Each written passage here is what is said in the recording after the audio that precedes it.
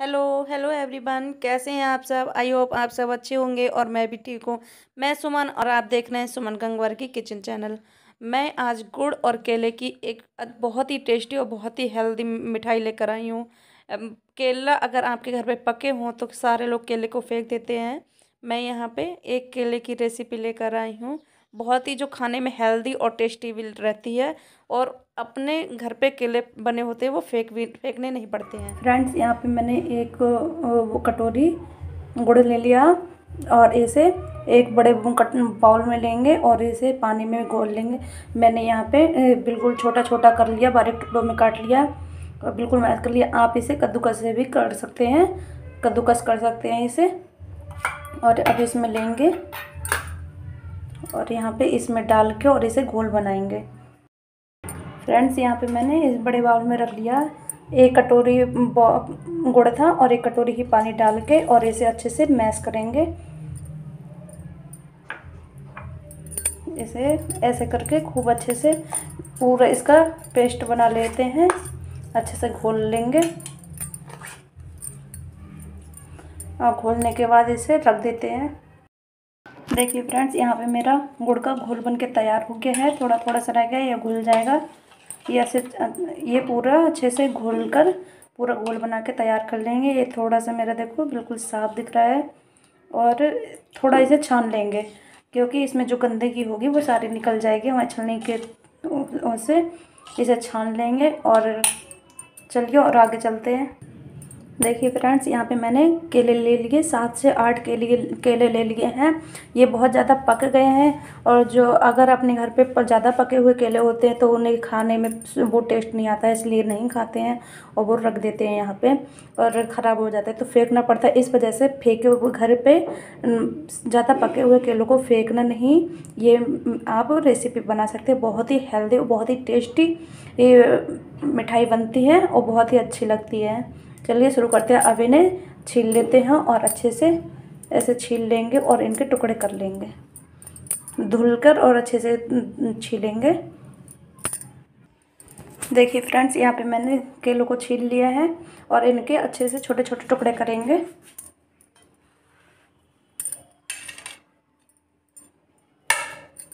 ये छोटे छोटे टुकड़ों में, पीसों में काट लेंगे। ऐसे करके छोटे छोटे टुकड़ों में काट लेते हैं। देखिए फ्रेंड्स, यहाँ पे मैंने केलों को कट कर लिया। अब ये वाली चम्मच ले लेते हैं और इसे इन्हें अच्छे से मैश कर लेते हैं। आप इसे मिक्सी में भी पी सकते हैं। मिक्सी में पर पीसेंगे इन्हें तो बिल्कुल भी पानी डालना नहीं है। बिना पानी के इन्हें करना है। मैं इन्हें चम्मच से ही मैश कर लेती हूँ। बिल्कुल मैश करके इनका पेस्ट बना लेंगे। देखिए फ्रेंड्स, यहाँ पे केला बिल्कुल मैश होकर तैयार हो गया है और इसे रख देते हैं और चलिए गैस की तरफ़ चलते हैं अब। देखिए फ्रेंड्स, यहाँ पे गैस ऑन कर दिया है और कढ़ाई रख दिया मैंने इसे और कढ़ाई में घी डालेंगे। यहाँ पे मैंने गैस ऑन कर दी और कढ़ाई में दो चम्मच घी डाल दिया है, दो बड़े चम्मच घी डाला है। अब यहाँ पे मैंने थोड़े ड्राई फ्रूट ले लिए हैं, अपने मनपसंद ड्राई फ्रूट ले सकते हैं। मैंने बादाम और काजू लिए हैं। घी गरम हो गया, अब इसमें डाल देते हैं।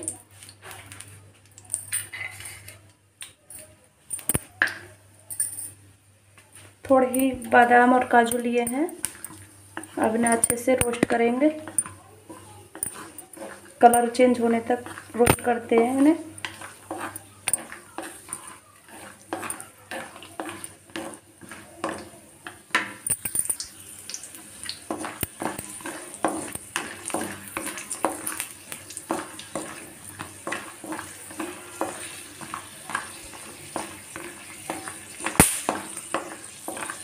देखिए ये हमारे अच्छे से रोस्ट हो गए कलर चेंज हो गया है, भुन गए हैं। अब इन्हें निकाल लेते हैं।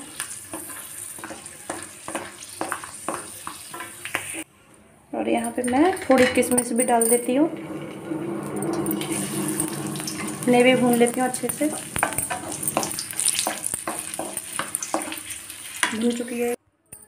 देखिए फ्रेंड्स, वही घी है। और उसी में हम एक कटोरी बेसन डाल देते हैं। एक से डेढ़ कटोरी बेसन डालेंगे।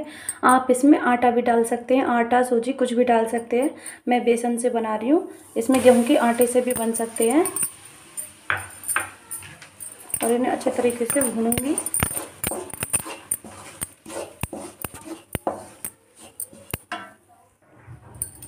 देखिए फ्रेंड्स, एक कटोरी डाल दिया। आधा कटोरी ये है। डेढ़ कटोरी इसमें बेसन डाल रहे हैं और इसे अच्छे तरीके से मीडियम फ्लेम पर भूनेंगे और खूब कलर चेंज आने तक, जब तक इस बेसन में खुशबू ना जाए, तब तक इसे भूनते रहेंगे।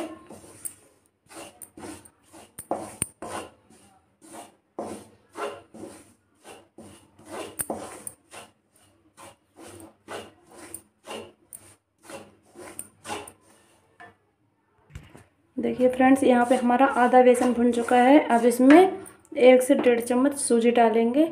ये मैंने सूजी डाल दी।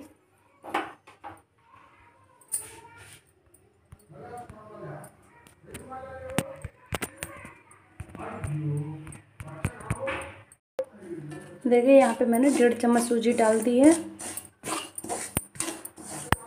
इसे दाना मतलब दरदरा सा थोड़ा सा अच्छा लगे बर्फ़ी में, इसलिए मैंने सूजी डाली है। इसमें दानेदार देखने के लिए और इसे अच्छे तरीके से भून लेते हैं।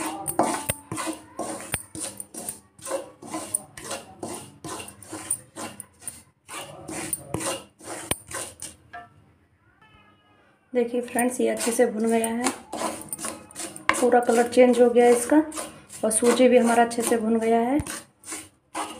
अब हम इसमें ये केले का मिक्सचर डालेंगे।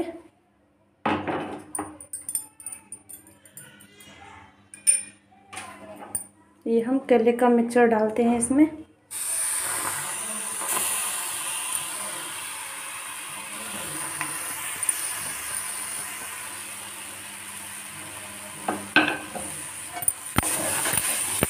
और इसे अच्छे से मिक्स करेंगे, खूब इसे भूनेंगे। केले का सारा कच्चापन दूर हो जाए ऐसे इसीलिए बिल्कुल मीडियम लो पर इसे भूनेंगे अच्छे तरीके से। बहुत ही अच्छी बहुत ही टेस्टी मिठाई बनती है इससे।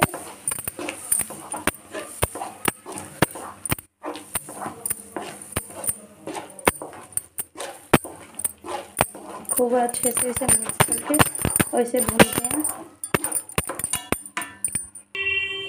देखिए फ्रेंड्स इसे मैश कर लिया अच्छे से।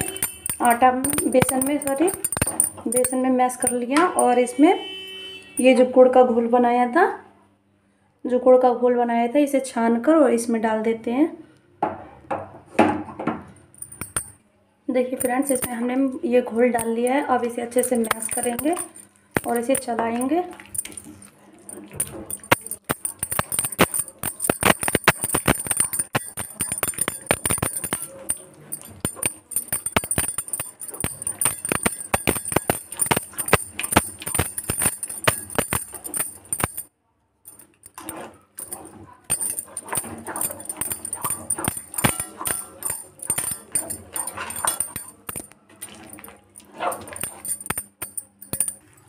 देखिए फ्रेंड्स ये अच्छे से मिल चुका है और इसे खूब पकाएँगे।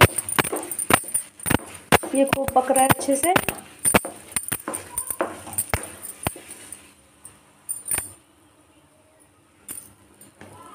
अब इसमें खुशबू के लिए इलायची पाउडर डालेंगे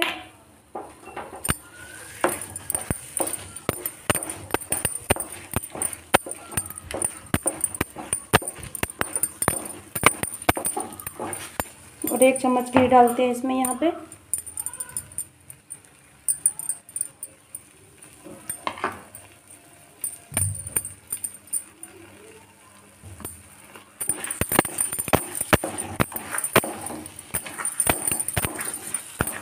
और इसे अच्छे से मिक्स कर लेते हैं।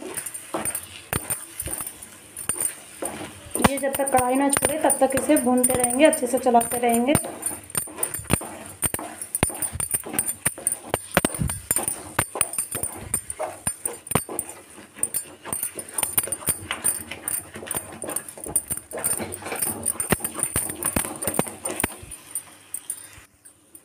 देखिए फ्रेंड्स, ये बन चुका बनने बनने वाला है। और इसमें थोड़ा सा घी डाल लेंगे और जो ड्राई फ्रूट्स डाले थे, थोड़े ड्राई फ्रूट्स डाल लेते हैं। थोड़े बचा के रखेंगे।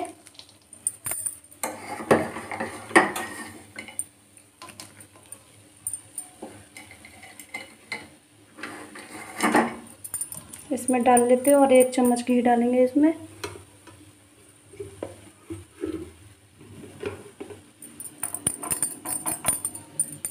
बहुत ही अच्छा फ्लेवर आएगा इससे। यहाँ पे घी में डालेंगे इस टाइम पे तो और बहुत ही अच्छी खुशबू आती है। देखिए फ्रेंड्स इसने कढ़ाई छोड़ दी है, ये बेटर है। इसने पूरा कढ़ाई छोड़ दिया है। नीचे से थोड़ा थोड़ा सा लग गया मेरा। और इसे एक प्लेट में या केक टिन हो या किसी में उसे घी ग्रीस घी से ग्रीस कर लेते हैं और फिर इसे रखते हैं।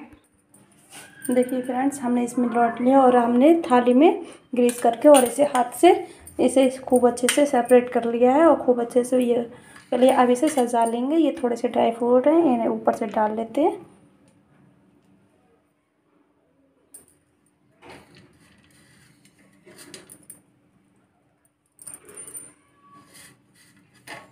अब इसे एक दो घंटे के लिए ठंडा होने के लिए रख देते हैं और फिर इसे बर्फ़ी के पीस में कट करेंगे। आपकी जैसी इच्छा उसमें कट करेंगे।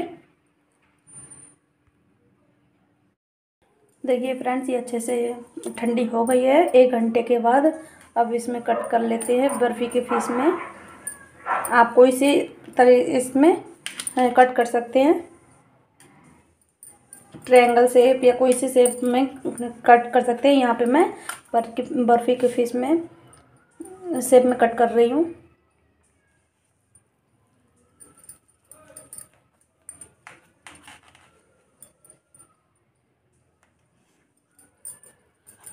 बड़े बड़े पीस में यहाँ कट कर रही हूँ मैं।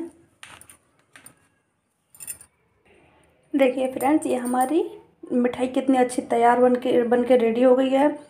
बन के तैयार हो गई है और देखिए कितनी सुंदर, कितनी अच्छी लग रही है ना। बिल्कुल केले की बर्फ़ी आप लगेगी नहीं कि ये खा कर देखना, एक बार बना कर देखना। मेरी रेसिपी बिल्कुल बहुत ही अच्छी, बहुत ही अच्छी लगती है। बहुत ही हेल्दी एंड बहुत ही टेस्टी रहती है। देखिए। आप इस रेसिपी को एक बार ज़रूर ट्राई करना बना कर देखना। अगर मेरी रेसिपी आपको अच्छी लगे तो आप लाइक एंड शेयर करना और मेरे चैनल को सब्सक्राइब करना। थैंक यू बाय बाय मिलते हैं नेक्स्ट वीडियो में वीडियो में। तब तक के लिए बाय